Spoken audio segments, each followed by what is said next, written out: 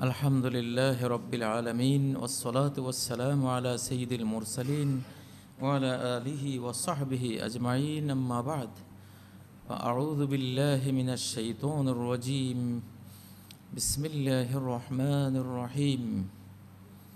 وما خلقت الجن والإنس إلا ليعبدون. واعبد ربك حتى يأتيك اليقين يا أيها الذين آمنوا كتب عليكم الصيام كما كتب على الذين من قبلكم لعلكم تتقون আজকের পড়ন্ত বিকেলের আল্লাহর ঘরের মেহমানগণ রোজাদার ভাইগণ মহান আল্লাহ রব্বুল ইজ্জাতুল জালালের অনন্ত অসীম গুণগান করছি, যিনি এতক্ষণ এই মসজিদে আমাদেরকে সালাতুল আসর এবং আসর পরবর্তী করান সন্ন্যার সুন্দর বক্তব্য শোনার তৌফিক দিয়েছেন। আলহামদুলিল্লাহ। প্রিয় ভাইয়েরা, মানুষের জীবনে যেই ধর্মীয় ফরজ এবাদতগুলো আছে যেগুলো শুধু আল্লাহর জন্য আমরা করি, সালাত জাকাত সিয়াম, হজ, জিকির আসকার তসবি তাহলিল, নফল, ফরজ, অজস্র এবাদত আছে, এগুলো আমরা করি। কিন্তু এগুলো কবুল হওয়ার জন্য আচার আচরণগত আবাদতগুলো শুদ্ধ হওয়া জরুরি, ফরজ। মানুষের সাথে, সৃষ্টির সাথে করা লেনদেনগুলো যদি শুদ্ধ না হয়, তাহলে আল্লাহর সাথে করা লেনদেনগুলো অশুদ্ধ হয়ে যায়। আল্লাহর কাছে মকবুল হয় না। একজন আল্লাহর জন্য সিয়াম পালন করল কিন্তু মানুষের সাথে মিথ্যা বলল, তার সিয়াম কবুল হবে না। সে আল্লাহর সাথে লেনদেনটা ঠিক করেছে, কিন্তু মানুষের সাথে ঠিক করে নেই। এগুলি অঙ্গাঙ্গিভাবে জড়িত, জোড়া এবাদত, যৌথ এবাদত। একটা নষ্ট হলে আরেকটা নষ্ট হয়ে যাবে। এজন্য নবী সাল্লাহ আলহি ওয়াসাল্লামের কাছে এক মহিলার কথা আসলো, সে খুব এবাদত করে। কিন্তু গায়রা আন্নাহা তুজি জিরানাহা বেলিসানেহা। কিন্তু সে তার জিহবা দিয়ে প্রতিবেশীদেরকে কষ্ট দেয়। কটু কথা বলে, তারা কষ্ট পায়। কিন্তু সে খুব মুসল্লি, আল্লাহ আলী এবাদত গুজার মহিলা। কিন্তু তার মানুষের সাথে আচরণের মধ্যে একটা দিক হলো জিওবা দিয়ে মিষ্টি সুন্দর কথা না বলে, খুব কটু কথা বলে, কষ্ট দেয়, গালিগালাজ করে। নবী সাল্লাহ সাল্লাম বললেন, হিয়া মিনাহলিনার এই মহিলা জাহান্নামীদের অন্তর্ভুক্ত। সালাদ সিয়াম, হজ, যতই সুন্দর হোক। কিন্তু মানুষের সাথে মোয়ামলা ঠিক না হলে জান্নাত মিলবে না। হিয়া মিনাহালিনার আর এক মহিলার কথা তাকে জিজ্ঞাসা করা হলো, খুব বেশি এবাদত গুজার নয়, সাধারণ পাবলিকের মতোই তার সালাদ সিয়াম এগুলো। কিন্তু সে মানুষের সাথে লেনদেনে পারফেক্ট মোয়ামলা এসে ভালো। মানুষকে তার কথা দিয়ে সে কষ্ট দেয় না। নবী সাল্লাহ সাল্লাম বললেন, হিয়া মিনা হালিল জান্না সে জান্নাতিদের অন্তর্ভুক্ত।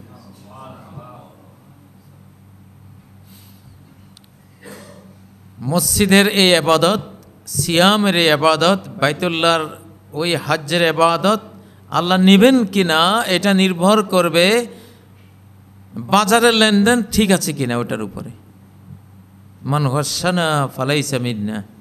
নবী সাল্লাহ সাল্লাম বাজারে ঢুকলেন, ঢুকে গমের স্তূপের ভিতরে হাত দিলেন। দেখলেন গমের স্তূপের ভিতরের গমগুলো ভিজা, উপরের গমগুলো শুকনো। দুর্নীতি। নবীজি বললেন, কেন ভিজাগুলো উপরে রাখলে না? তাহলে যে লোকের পছন্দ হতো ভিজাটা ভিজাই নিত। দেখে শুনে নিত। তুমি শুকনা রাখলাম উপরে, ধারণা দিলা যে সবগুলি এমন শুকনাই। অথচ ভেতরে ভিজা। নবী সাল্লা সাল্লাম বললেন, মান ওয়াসানা ফালাইসা মিন্না যে আমার উম্মতকে প্রতারণা করল, সে আমার উম্মতই নয়।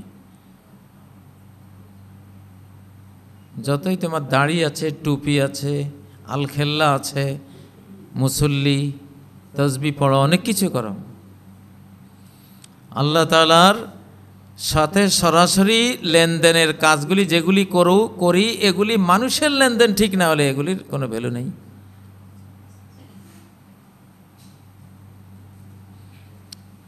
নবী সাল্লাহ আলাইসাল্লামের এক গোলাম খাইবারের যুদ্ধে একটা অজানা তীর তার বুকে বিঁধল, মারা গেল। সাহাবাই কেরাম বললেন হানি আল্লাহু শাহাদা। তার জন্য শাহাদাত বরকতময় হোক, শহীদ হয়ে গেছে। নবী সাল্লাহ সাল্লাম বলেন, কাল্লা, ইন্নি রয়তু শামলা আলাইহে নারান। আখাজাহা মিন, মিনাল গনিমতে ইয়াউমা খায়বার, লাম তুসিব হাল মাকাসিম। একটা চাদর, নবীজি বলছেন, ওরা সাহাবিরা বলছেন, শহীদ, তার জন্য বরকতময় হোক শাহাদাত। নবীজি বললেন, না না, যেই চাদর সে চুরি করেছিল গনিমতের মাল থেকে, সেটা এখন দাউ দাউ করে তার গায়ে জ্বলে উঠছে, আগুন জ্বলছে তার শরীরে। তার শাহাদাতের কোনো বেলে হলো না, সেটা চুরি করেছে। তাহলে রাষ্ট্রীয় মাল চুরি করে রোজা রাখবেন আর জান্নাতে চলে যাবেন, হবে না? মানুষের সাথে লেনদেন ঠিক না হলে আল্লাহর সাথে লেনদেনগুলো ঠিক হয় না। ভ্যালু পায় না।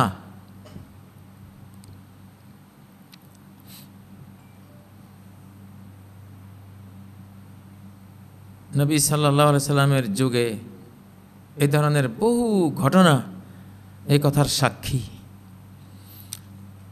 আজকে মুসলিম জাতির সবচেয়ে, আমাদের বিশেষ করে সবচেয়ে বেশি নষ্ট হয়েছে লেনদেন, মোয়ামলা।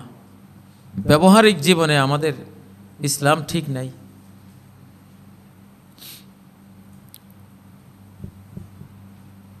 প্রিয় ভাইয়েরা, একটা ট্রেন অ্যাক্সিডেন্ট হলে যখন আমরা দেখি মুসলিম ভাইয়েরা তার আহত নিহত ভাইয়ের কাছে দৌড়িয়ে আসলো, তার সেবার জন্য নয়, তার মোবাইলটা চুরি করার জন্য। তার পকেটে কি টাকা পয়সা আছে সেগুলো চুরি করার জন্য। মহিলাদের শরীরে কি স্বর্ণালঙ্কার আছে? সে কাতরাচ্ছে মৃত্যুর যন্ত্রণায়। আর ও আছে তার সম্পদ চুরির সেই উৎসবে। আহা, এই মুসলমান, কত বড় মুনাফেক। কিসের মুসলমান এগুলি? কিসের মুসলমান? মুসলমান তো মুসলমান, এগুলো মানুষও নয়। মানুষের কাতারে নাই এগুলি। অতএব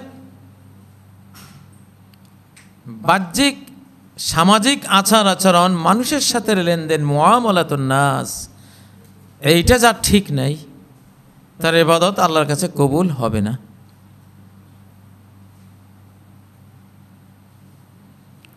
এই জন্য সিয়ামের সবচেয়ে বড় দিক হলো এগুলি আজকে আমাদের সমাজে, যেগুলি নষ্ট হয়ে গেছে। এটাই ইমাম সাহেব একটু আগে বলেছেন মাল্লাম ইয়াদা কৌলা জুর ওলা আমালা বিহি। এই রমজান মাসে আদালতে প্রাঙ্গণে গিয়ে দেখবেন, মিথ্যা সাক্ষী। দুশো টাকা দিলেই, ভাই, কি ব্যাপারে সাক্ষ্য দিতে হবে? খালি বলে দিবেন আর সে গিয়ে বলবে আদালতে দাঁড়িয়ে হ্যাঁ আমি চাক্ষুষ দেখেছি তিনি এটা করেছেন। ওকে মেরেছে আমার সামনে। অথচ সে জানেও না। দুশো টাকার লোভে ইমান বিক্রি করে দিল, সিয়াম বিক্রি করে দিল, রমজানকে বেজ্জত করে দিল।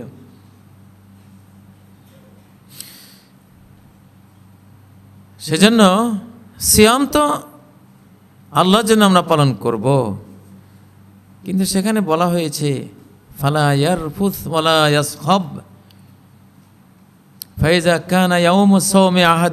কারও সিয়ামের দিন যখন আসবে কোনো অশ্লীলতা, বেহায়াপনা, নির্লজ্জতার কোনো কথা, কাজ, চাহনি, শ্রবণ, আচরণ, গমন, আগমন, প্রস্থান কিছু করবে না। এখন তো সময় হয়েছে বাজারে যাওয়া থেকে সিয়াম পালন করা। রোজাদারকে যে বাজারে যায় না। কারণ আপনি বাজারে যাবেন নারী পুরুষের যে অবাধ ফ্রি মিক্সিং সেখানে, পর্দা নাই, পুশিদা নাই, কি অবস্থা উলঙ্গপনার, কি অবস্থা? যদি ফলা ইয়ারফুস, কোনো অশ্লীল দৃষ্টি, অশ্লীল কথা, অশ্লীল শ্রবণ, অশ্লীল গমন, কিছু করা যাবে না। তাহলে আপনি বাজারে যাবেন কেমনি এখন? নিউ মার্কেটে শপিং মলে আপনি যাবেন, কীভাবে যাবেন? এখন পার্ট অফ সিয়াম হয়ে গেছে। এই জাতীয় অশ্লীলতার ছড়াছড়ি যেই মার্কেটে সেই মার্কেটে না যাওয়া। এটা রাফাসের অন্তর্ভুক্ত হয়েছে। কিন্তু আমাদের দেশে তো আমরা জানি, আর কয়েকদিন পরেই শুরু হবে। রমজান শেষ। আমাদের রমজান শেষ হয়ে যায় রমজানের পনেরো তারিখে। বাংলাদেশে রমজানের পনেরো তারিখে রমজান শেষ। ষোলো তারিখ থেকে আর রমজান মাস নাই, সেটা বৈশাখ মাস। পয়লা বৈশাখ শুরু হয় এবং প্রতিদিন একটা পয়লা বৈশাখ। প্রতি রাত এক একটা পয়লা বৈশাখ। আর কিসে রমজান তো পনেরো তারিখে নিহত হয়ে গেছে। শাহাদত বরণ করে শেষ, দাফন কাফন করে এখন আমরা বৈশাখী মেলায় শুধু একানা স্ত্রী, পুত্র, কন্যা, নিজে আরও যা আছে সব নিয়ে ঝাঁপিয়ে পড়লাম। আফসোস, কি বুঝলাম আমরা? আসলে চোদ্দশো বছর আগে থেকে ইসলাম না নিলে ইসলামের কোনো গ্রহণযোগ্যতা আল্লাহর কাছে নেই। রমজানকে আজ থেকে চোদ্দশো বছর আগে থেকে নিতে হবে। ওখানে কি ছিল? কই এ শপিং ছিল নবীজির আমলে? কিচ্ছু ছিল না। রমজানে সাহাবিরা হয়তো একদিনও শোনেন নাই যে রমজানে পনেরো তারিখ থেকে আমাদেরকে মার্কেটে মার্কেটে ঘুরতে হবে। জানতেনই না। এটা কোনো আলোচনাই নেই। রমজানে পনেরো তারিখের পর থেকে সাহাবিদের কল্পনা শুরু হতো কে কে মসজিদে চলে যাব। সংসার ছেড়ে, মার্কেট ছেড়ে, ব্যবসা ছেড়ে, বাণিজ্য ছেড়ে, চাকরি, বাকরি, কৃষি, বাগান সব ছেড়ে দিয়ে কে কে মসজিদে ঢুকে পড়ব। তাদের ছিল এইটা। তাদের শপিং ছিল এটা। জান্নাতুল ফেরদাউসের শপিং আখেরাতের শপিং ছিল তাদের। নবী সাল্লাহ সাল্লাম তো এক রমজানে তিরিশ দিনেই মসজিদে ঢুকে গেছেন, তিরিশ দিনেই মসজিদ। শেষ রমজানে, জীবনের শেষ রমজানে বিশ দিন, দশ তারিখের পরে, দশ তারিখে ঢুকে গেছেন মসজিদে। চোদ্দশো বছর আগে রমজান পালনকারী রোজাদারদেরকে দেখি তারা মসজিদে ঢুকে যাচ্ছে দশ তারিখের পরে। আর এখনকার রোজাদারদেরকে দেখি দশ তারিখের পর সব মার্কেটে ঢুকে যাচ্ছে। বেশ কম আসেনি নাকি বলবেন যে আমরা খুব স্মার্ট তো, এখন তো স্মার্ট সিএম পালন করি। আগে তো স্মার্টনেস ছিল না। এখন স্মার্টফোন ব্যবহার করি স্মার্ট সেট সেটের সাথে আমরাও স্মার্ট হয়ে গেছি এটা অভিশপ্ত জীবন এটা, অভিশপ্ত আচরণ। যে রমজানে ক্ষমা পেল না, আল্লাহ তাকে জান্নাত থেকে বিতাড়িত বহিষ্কার করে দেবেন। এটা তো জিব্রাইল আমিনের দোয়া, নবীজির আমিন বলা। আসলে আমরা যে আল্লাহ তালাকে চিনি না এই জন্য আল্লাহর হুকুম কেউ মান দেই না। আদেশ জানার আগে আদেশ দাতাকে জানা ফরজ। যেহেতু আদেশ দাতাকে জানি নেই, নিষেধ দাতাকে জানি নেই, আদেশের কি মূল্য দেব আর নিষেধের কি মূল্য দেব? রিক্সাওয়ালার আদেশ কে মূল্য দেয়? রিক্সাওয়ালার নিষেধ কে মূল্য দেয়? কিন্তু ডিসি সাহেবের আদেশ নিষেধ, এমপির আদেশ নিষেধ, মন্ত্রীর আদেশ নিষেধ, প্রধানমন্ত্রীর আদেশ নিষেধ শুনলে সবাই মূল্য দেয়। যেহেতু আদেশ দাতাকে জানলো এই জন্য আদেশকেও বুঝলো। মূল্য দিল।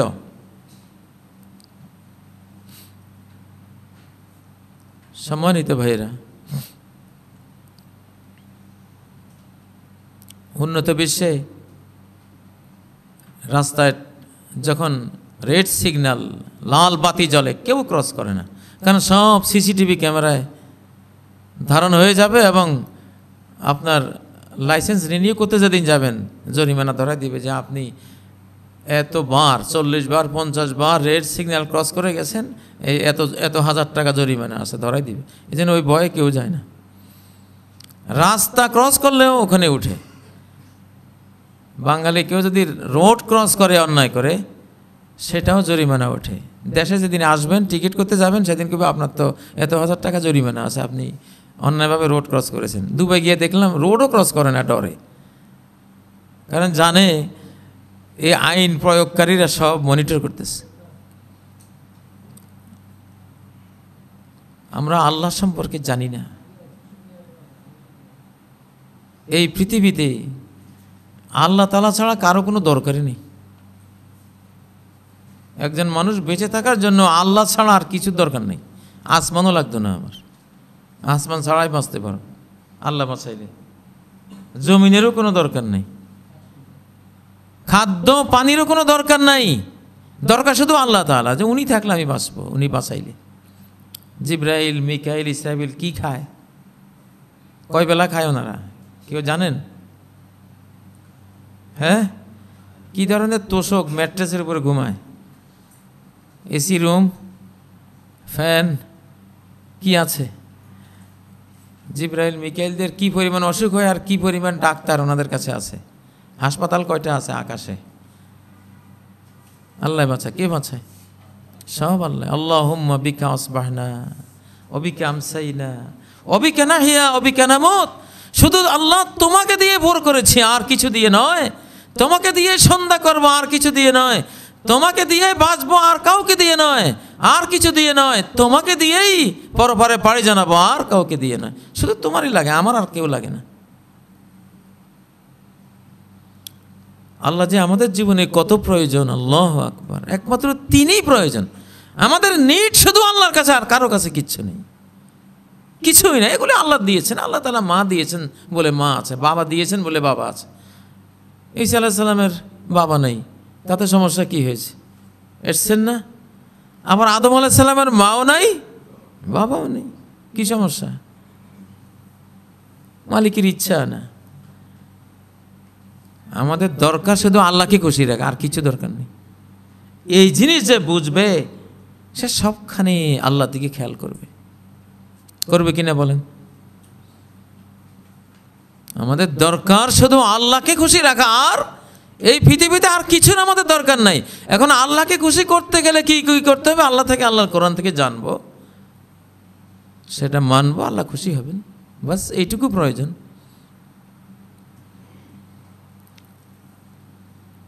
আল্লাহ তালা যে কত অনন্ত অসীম ক্ষমতা, জ্ঞান, জ্ঞানের মালিক, আপনার সকল কিছু তো মনিটর করেনি। সব কিছু তো দেখেনি। মনের ভিতরে বিদ্যুৎ গতিতে চক্ষের পলকের আগে একটা কল্পনা গেছে, ওটা উনি জেনে ফেলছেন। আপনার হয়তো জানা হয় না ওনার জানা হয়ে গেছে। কে আমাদের দিন আপনাকে ধরবেন সেটার জন্য।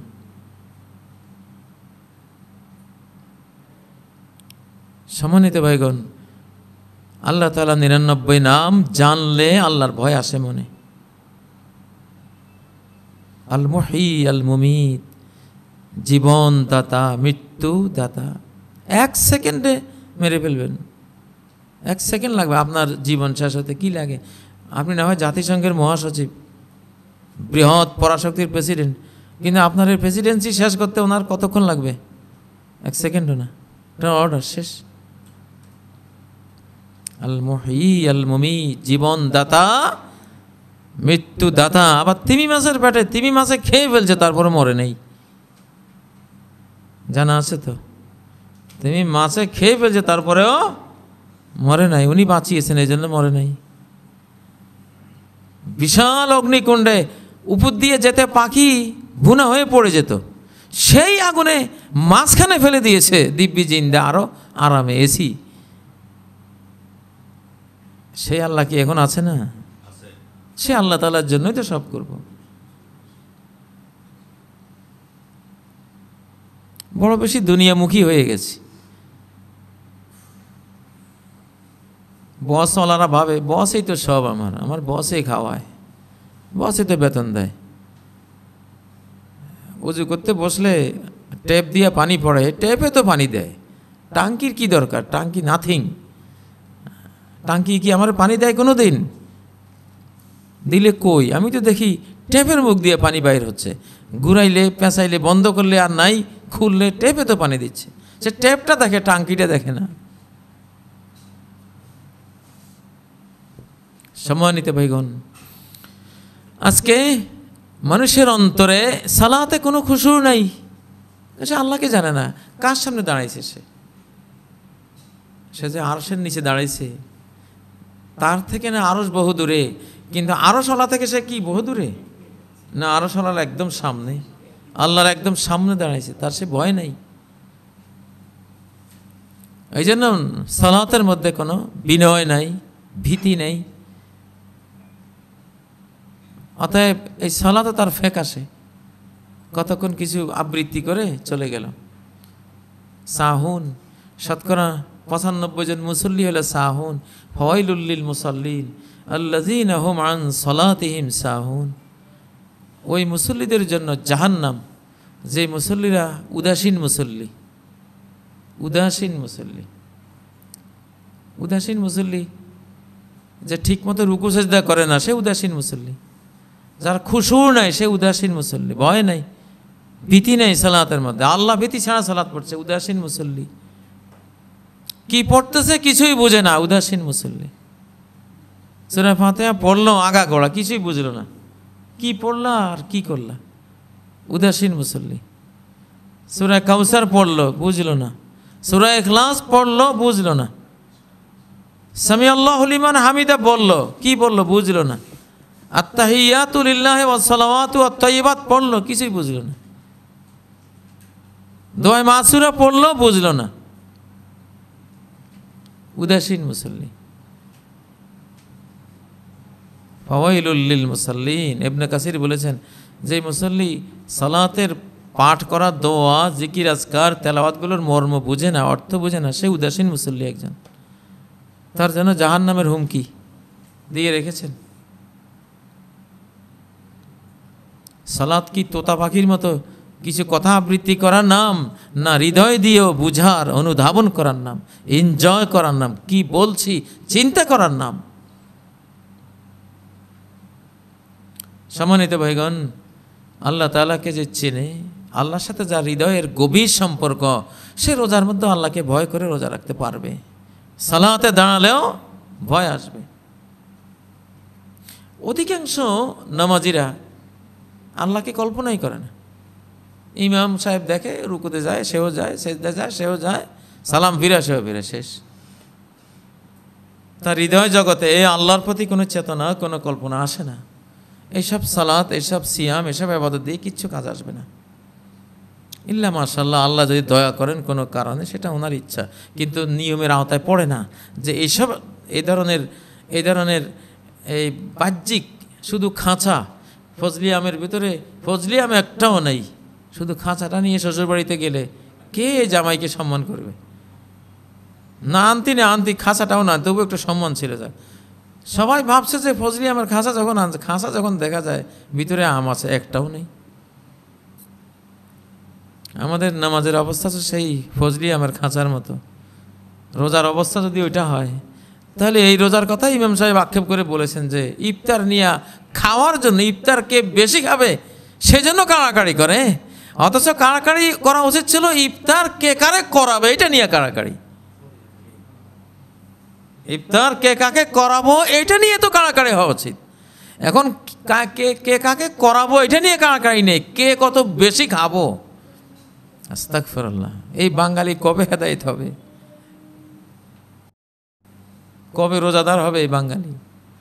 আস্তাক ফেরল্লাহ আল্লাহ তালা আমাদেরকে প্রকৃত রোজাদার হিসেবে কবুল করেন। রোজার মর্ম অনুধাবন করে রোজা রাখার তৌফিক দান করেন।